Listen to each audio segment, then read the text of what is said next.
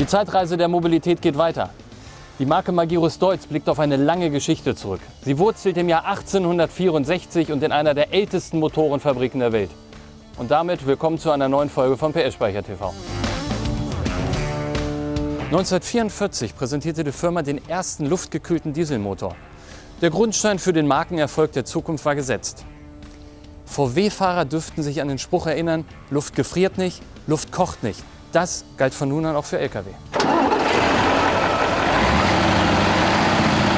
Aber erst mit der Übernahme der Magirus AG aus Ulm im Jahr 1936 stand auch eine Lkw-Produktion unter eigenem Dach zur Verfügung, in dem man die eigenen Motoren einbauen konnte. Übrigens, im Logo findet ihr den Ulmer Münster als Emblem.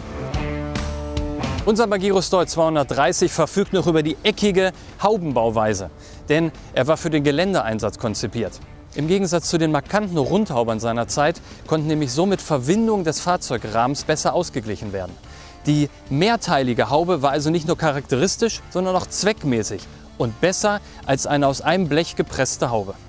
Dieses Modell stand am oberen Ende des Fahrzeugangebots. Eingebaut ist ein 230 PS Leistner und wie schon gesagt luftgekühlter V6 Motor, der seine Bullenkraft aus 13 Liter Hubraum zieht. Zur Fortbewegung der maximal 22 Tonnen Gesamtgewicht auf öffentlicher Straße wurden alle drei Achsen angetrieben. Mit einem ebenso speziellen Anhänger versehen diente dieses Gespann der Deutschen Bundesbahn, um Weichenteile zu Gleisbaustellen zu bringen. Denn die Deutsche Bundesbahn unterhielt unbemerkt von der Öffentlichkeit einen sehr großen Fuhrpark spezieller Fahrzeuge für unterschiedlichste Einsatzzwecke. Denn abseits der Straße und der Schienen war immer was los.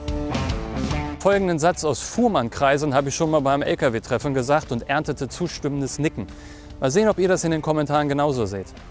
Ein Magirus wurde immer dann gebraucht, wenn ein steckengebliebener Mercedes aus dem Matsch gezogen werden musste und kein Henschel zur Verfügung stand. Überlegt mal, wir sehen uns nächste Woche wieder oder vorher im PS-Speicher und einem seiner Depots. Bis dann.